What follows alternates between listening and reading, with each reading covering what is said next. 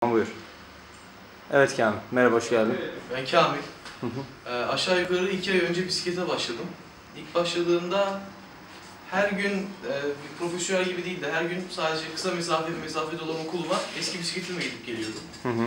Güzel spor oluyor. Her gün bisiklete binmek çok da zor bir şey değil insanların abarttığı kadar. Kaç kilo verdin Kamil? Ee, o iki aylık dönem içerisinde şu ana kadar toplam 10 kilo verdim. 10 kilo verdin. Aşağı yukarı haftada kaç kilodan oluyor? 8 hafta olmuş. Haftada 1,5 kilo gibi bir şey veriyorsunuz. Veriliyor da yani. Şu an kaç kilosun? Şu an 104 kiloyum. İlk başladığımda 114'tüm. Hedefin kaç? Kaç kilo inmek istiyorsun? Ben 90'a inmek istiyorum ama 100'e inersem bir insana benzeyeceğiz yani. Şimdi bu şey biraz da dar, sıkıyor. Hı hı. Biraz daha geniş. Böyle bir şey olacağım. Tamam. Hafta sonu turlarına gelmeye kararlı mısın? Kararlıyım. 2 haftada da geliyorum abi. Tamam. O zaman kilo vermede hızlanmayı gördün mü? Evet, e, ilk hafta sonu turu yorucu oluyordu. Hı hı. O hafta ben o turdan sonra 300 değil de 200 gram, 300 gram verdim bir turda. Çok iyi. Verdim yani, veriliyor. Çok iyi. Çünkü uzun mesafe. Harika. O zaman beraber 90 kiloya inip tekrar videomuzu çekeceğiz. Doğru mu? Beraber mi ineceğiz abi?